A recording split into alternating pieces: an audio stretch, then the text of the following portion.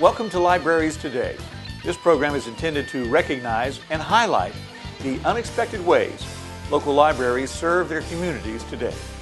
I'm your host, Stan Howe. 40 years ago, the West Virginia Library Commission had a vision to create a television studio which would produce high quality content for all West Virginians. The programming would focus on information on health, history, community issues, and of course, public libraries.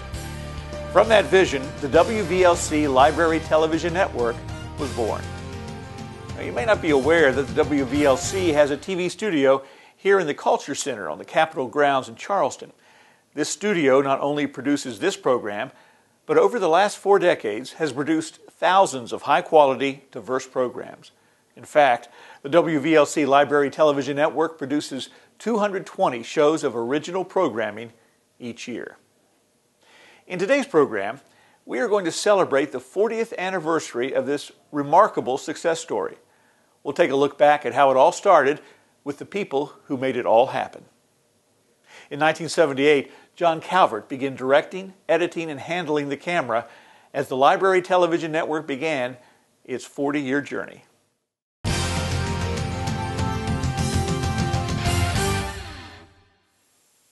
Welcome, John. Thanks, Dan. Glad to be here. Let's talk about the beginnings of, of this studio. You were here from the very start. What was it like? I remember um, when Fred uh, Glazer hired me. Fred was the head of the, the Library was, Commission at the time. Yes, he was head of the Library Commission at the time, and the offices were over on the other side of the Capitol. Because this building hadn't opened it yet. It wasn't finished yet. Right. It wasn't finished. It was underway, and the plan was to build a studio, a television studio here. Um, and um, I had to wait about six months to to actually, you know, come here and do the job. So when I came through the door here, um, the studio was here, the grid was on the ceiling, and there was a cart with a television sitting on top of it in here. And I thought, this is this is really minimalist television. I, I had a lot to I had a lot to do, so I went about actually building sets and painting and getting things ready to go. Somewhere along the line, you had to come up with cameras and microphones and a set. Right. How did you? You mentioned you built the sets yourself. Right. We actually built the the, the uh, tables um, that we put the equipment on uh, out of two by sixes and, and formica. I mean, everything here was hand built. The sets, the, the, little risers that we have, that some of them look like they're the, they're originals in here right now. Um, but we yeah we did all that ourselves because we were on a very strict budget. We didn't have much money to spend uh, on this entire operation, and uh, television equipment for the kind of middle of the road professional was very very expensive at that time. Were you involved in actually going out and finding cameras and microphones? There was a, a budgeted figure for it in uh, in the Library Commission's uh, annual budget. Uh, we did have to go and look at different options. Uh, we, uh, Fred, myself, and Dave Sholtis, which was an employee mm-hmm. with us, uh, traveled to Pittsburgh. Of course, to, you were you had worked at WCHS right. TV, so you were familiar with some of the things that needed to happen. Oh, sure. I, I worked um, first out of college at WCHS. Uh, I left CHS and went to WSWP uh, public station in Beckley. And at that point in time, Beckley didn't have a studio at all. All they had was a production truck. So everything we did there was remote. So when all this started, what was what was your vision? What did you want this studio and this network to become? Fred's vision, and I shared the vision, was that there's a lot to know. And television was the emerging technology to make that happen. Well, it had to be a little unusual to have a TV studio in a library setting. Well, I think that was um, a natural extension of the information delivery that libraries are responsible for. We are a repository for knowledge like like Alexandria's library. Um, and in order to be able to distribute that knowledge or that information out to the to the public, television was a perfect vehicle for that. It's one thing to to have the set, have the studio, have people to direct and to be in front of the cameras, but somewhere people have to be able to watch it, right? Mm-hmm. So where where were people able to access the programming you guys were producing early on? Well, it was available. It was cataloged uh, as if it were any other piece of information. uh, or creation. It was cataloged here at the uh, Library Commission, and people could come and check it out if they wanted to. Early on, not very many people did because it was all produced on U-matic three-quarter inch tape, and that was not a ubiquitous home uh, type uh, format. Were you broadcasting the programming? Uh, eventually, we did get ac- access to the cable, uh, a live access to cable, and when that happened, things really began to blossom because we were alive. Uh, we were a, a, a destination. Being here in the capital, um, public television used this studio to do some of their work during legislative session. Um, we we sent our television, our shows uh, out to, to the cable system, and they aired them. At some point, uh, the studio also started using outside uh, talent to produce shows, not necessarily library shows, but shows on agriculture or shows uh, on history. Uh, when did that start? Um, gosh, you know, putting a finger on the time that that started, I would say probably two or three years into into uh, the development. So pretty early on. It's it was pretty early on. We did some some um, some interesting things. We had some uh, some very good um, productions in here. One of them was called Heritage Trunk. It was uh, it was um, it was done by Dolly Sherwood. Um, we worked real close with Archive and History on on that. Uh, the guys over in the shop over here, Bob Sharif, did a marvelous job. He built a Victorian living room in this place. It was unbelievable, like a library, uh, wainscoting around the walls. It was great, and Dolly did that in here. What kind of reception did you get in those early days? What were people's reactions? Generally speaking, the existence of this facility here and the things that we did were widely accepted and appreciated. There were some who thought it was a duplication of effort, that there didn't need to be a studio and a staff here because we had public television just up the road. Um, our missions were different, but they were somewhat the same. Um, so there was always an underlying kind of rumble of, you know, are we going to be here next year? Is this going to happen? Are we going to get a, a budget cut and the whole thing's going to, just going to go away? Um, Fred did a good job of fighting for us in the early days.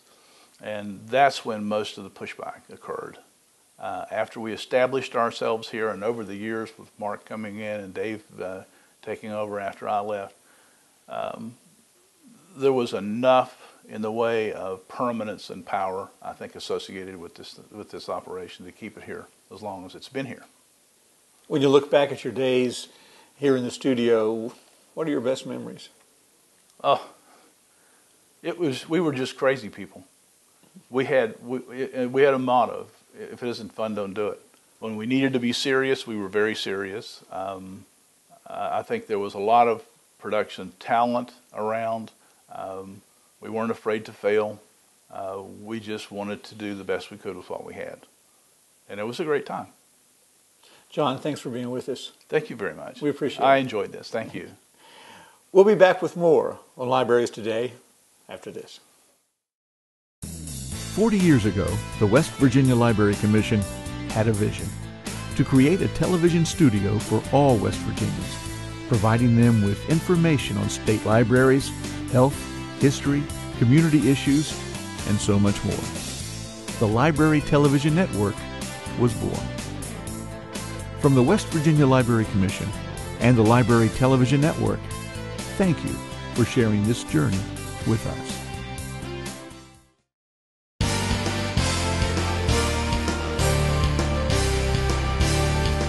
The WVLC Library TV network is celebrating its 40th anniversary. We're taking a look back at some of the people who started it all. Another of the early pioneers with the Library TV network was Chris Bradley. Chris is now the WVLC Director of Network Services, but he started with the commission right here on the studio floor. Chris, thanks for being with us. It's good to be here. So tell me uh, about what it was like when you, you first started. Wow. Uh, I came in this door in July of 85, and uh, there was a fellow here named Rick Goodwin at the time who was the engineer and other, other camera guy, whatever. And he sort of led me around, taught me the ropes, how things worked, the on-air playback, and you know, Dave taught me a little bit about uh, directing and camera work and stuff that I hadn't been familiar with. But honestly, the equipment was old and it smelled funny, but everything worked and everything did its job. And it's amazing the stuff that was being done with what they had at the time. It's pretty amazing. What uh, kind of jobs did you handle? Well, I did some camera work uh, on the floor camera, and uh, when I first started out, and I did some field recording. Went out shot some stuff on location, and as the years went by, Dave kind of nurtured me along, and he taught me uh, technical directing and things. And I, there, there at the end, I was doing pretty good. I could, uh, I could TD live broadcasts.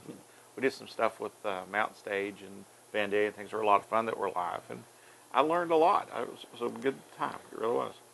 You know, uh, programming is the driving force behind any TV studio, uh, and programming hours kept increasing over the years. Yeah, was, uh, the popularity of the programming was what was amazing. Uh, we started out with a couple hours on Capital Cable in the afternoon, like three to five, uh, when nobody's home to watch television anyway. But um, it started catching on. You know, local cable companies started picking up. St. Albans picked it up. Logan picks them up. Williamson picks them up. Um, Parkersburg started expanding the, the broadcast day. Then Capital came back and gave us three hours, and then it changed to 12 hours a day. So it just expanded and on and on and on. Now I think they're distributed to cable companies all over the state. It's uh, big footprint these days. There's some pretty high-profile people that ended up being interviewed over the years on the various shows. Uh, folks like James Earl Jones, John McBride, of course, governors, elected officials.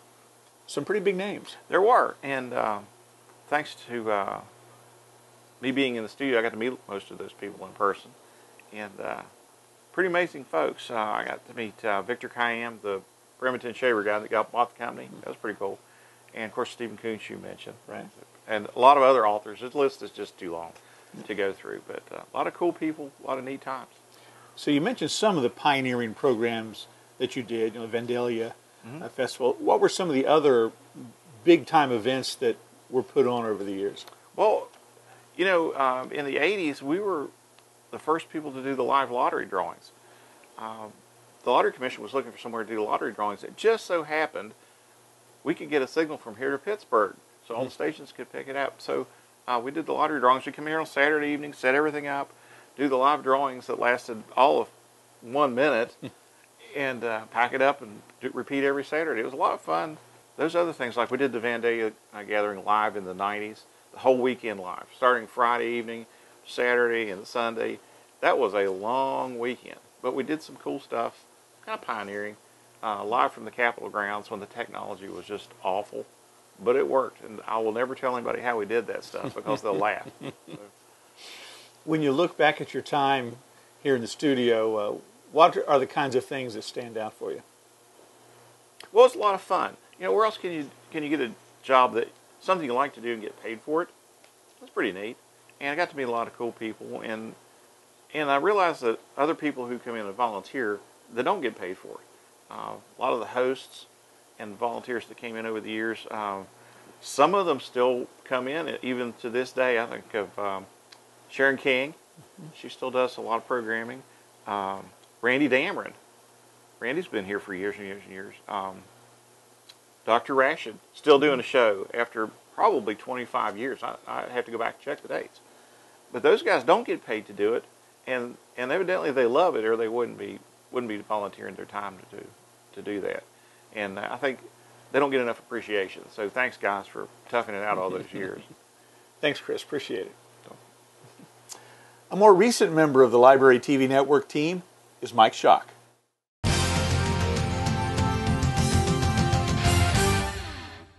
Mike, thanks for dropping by. Oh, You're welcome. So tell me about your time with the, uh, the Library Network. Well, let's see. I spent about almost 15 years here. Uh, when I was signed on, we were still shooting analog. That had to be a big jump. Yes, it, yes, it was because they had shot analog. I'd say since the beginning of the studio, Right. and uh, so there wasn't a whole lot of changes in technology really, except like cameras and what type of tape formats. But as soon as digital came about, it's been pretty much warp speed since. Yeah. And then HD. Yes, HD. Yes, that all that was in a period of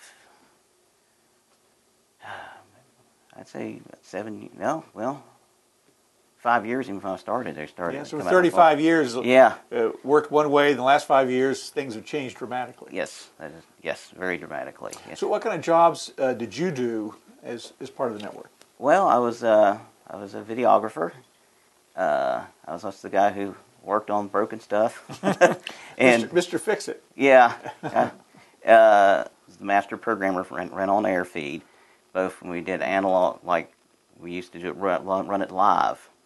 Like first, we you know multiple blocks during the day. Right. Ran the first one live, and then an- automated. And later we switched to all digital automation. So in charge of programming. And I also helped spec stuff, new stuff. So with our with our budget within our budgetary guidelines. So. Well, besides the, the, switch to digital, what other changes did you stand out in your mind over that 15 year period?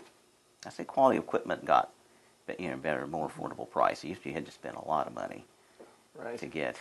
So uh, you said new cameras and Yeah. so how often did you get out of the studio and get out and shoot some things uh, away from the building? Well, we lot like one field shoot per show, plus different projects. Uh, a few times, five, six times a year. How what are some of the you know when you're when you're shooting away from the studio, you have some different challenges. Mm-hmm. What kinds of things come into your mind when you think about those days when you're out outside shooting? Uh, controlling the environment.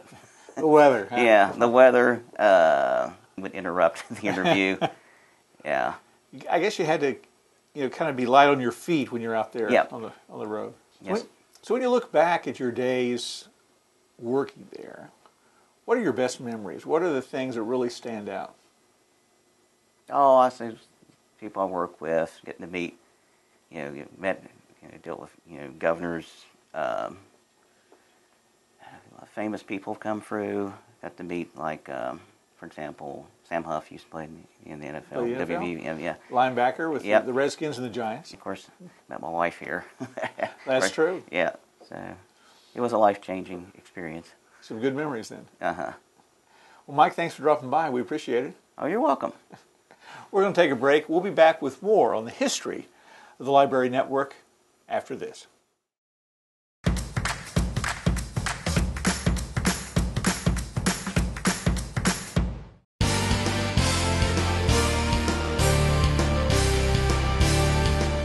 The last four decades, the Library TV Network has produced thousands of shows and been a major contributor to the growth of public awareness for West Virginia libraries. Two of the men most responsible for the success of the network are former director Dave Schuldis and current director Mark Lanham. Gentlemen, thanks for being with us. Thank you for having us. Dave, you started here in the 1970s. Why don't you tell me what it was like when you first walked through these doors? My goodness, what an experience it was. Um, I can remember walking through the studio doors and everything was piled in just on a cart. The, the lighting, the production switcher, even the cameras were all piled right there on a, in a cart. So John and I kind of um, got together and decided, well, where do we want to put this? Where can we put this? Um, so we uh, moved it all back to the control room and started building sets, started building uh, um, risers, started building um, where we wanted our cameras and plots for lighting. Now, a current set, we have about three sets, I believe, here in the studio. Uh, how different are they from what they were like when you were here? Oh, they're considerably different. Uh, John and I had to build every set. Um, luckily, uh, we did get some hand-me-downs from Channel 8. Uh, so we did uh, get some sets from Channel 8. But for the majority of the sets here, John and I built and painted. What were your biggest challenges in those early days? We were building a studio, a TV studio. This was a new idea and a new concept for a library, library system. So we had to jump that hurdle and, and say we were actually helping the library. We were collaborating with them to enhance their book, but we were doing it with via tape. Um, the other thing John and I had to face was how, what type of programming were we going to produce? And it always came back that we really wanted an informational series, something information. So, information television was born. So we started asking uh, department heads with state agencies, could we do something with your department? And we got a hundred percent uh, uh, success with people coming over and doing programming for us, and it it kind of snowballed from there. So your challenge is primarily dealt with getting things started. Mark, you've been here now for a while. Yes. You probably have a different set of challenges. What are the kind of things you deal with? Um, well, we still have the budget challenge. Uh, that's always the, that's always the biggie. Um, we we have that. Uh, we have keeping the shows going as well. Uh, some of the agencies come and go, and uh, we have issues uh, with them staying. You know, for a certain long time. Some of them have been here for you know 400 plus shows. Some of them do 11 shows, and then you have to move on to another. It's always a juggling match to schedule everybody in, uh, especially when you're doing somewhere around 22 to 25 shows a month, about 220 shows a year. Uh, it, it, is a, it is a juggling match. It's very difficult. Yeah. Now, you both touched on programming. And I, I, as I understand it, the, the early days, the programming and the amount of programming you had to have, very different from where we are today. We, we decided uh, the main thrust was information. And uh, our programming was always had to have a theme of informing the patron viewer. How many hours did you have to fill? Gosh, I think we, days? we we were on seven hours the first month or two, so it was a constant um, fill. We had to fill that time. Mark, Dave was talking about informational programming. I mean, why don't you explain what the programming is like today?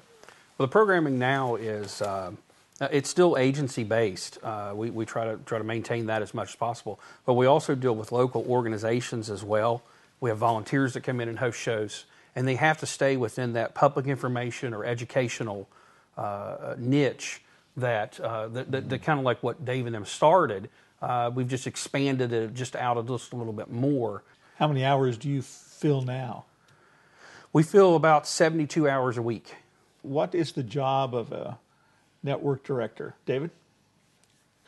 Uh, not only directing the, the programming on camera, but directing the, the department itself, you know, with, with staff meetings, with production meetings, with meetings with, with program hosts, with program guests. Over your 21 years, um, how did your role change? My concept was we wanted to complement books in the library with videotapes. That was a hard sell for librarians, for the most part.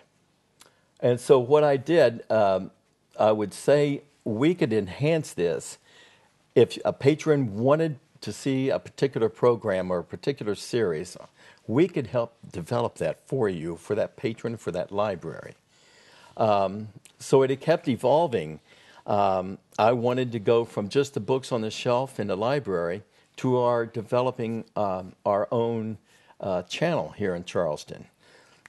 Branch that channel here in Charleston to other uh, cable outlets throughout the state. And we were successful in doing that. Mark, in addition to regular programming that Dave and you have talked about, you also do, the studio also handles special programming uh, for the governor, for the First Lady. Uh, can you talk a little bit about some of the special programming you do?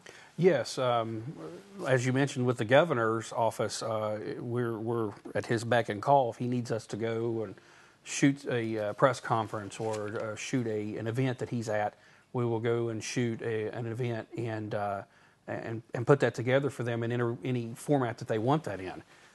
We also do special productions.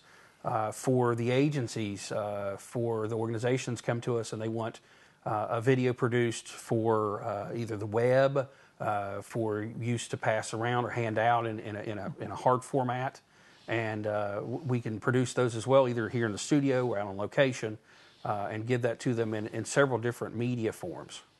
Dave, what are the kind of things that stick with you most after all these years when you look back? Oh my goodness. The people that I ran into, the people that I was blessed to work with, the creative people that came into mine, and we would sit down, and I would always sit down with them in a production meeting and say, What if we could do this? That was always my mantra. What if? And they would say, Well, Dave, we could do this, this, this. So that was 20 some years worth of beautiful memories of people coming in, creative minds working and coming up with ideas about programming, about ideas and how to's and so on and so forth. If I had one person that comes to mind that really set this apart and that really, really saved the Library Commission channel would be Sharon King. Sharon King went above and beyond uh, helping the Library Commission with developing programmings uh, and with developing the structure and the stability of this, this service of the library. Mark, we've been talking about the past. Mm-hmm. What is your vision for the future for the Library Commission network? Well, expansion as always. Uh, I'd like to go farther out and make sure that more people see what we're doing. Uh, one of the things we'd like to do is, is the facility uh, is not full HD yet. Um, we'd like to like to get the equipment to to step that forward. I would like to say that the future is far and beyond what the Library Commission hopes to have. This this is going to be what Mark is going to be developing. It's going to be a beautiful system. If I ever could say anything great about Mark and extending this and carrying this this torch on, it would be high praises to Mark. He undoubtedly has gotten the torch and carried it forward. And look at this place. It is beautiful. Dave, Mark, thanks to both of you for being here today. Great. Thank you. Thank, Thank you. you. We'll have some final thoughts on 40 years of the Library TV network after this.